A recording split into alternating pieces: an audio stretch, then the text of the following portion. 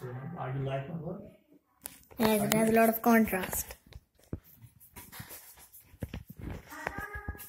Looks real.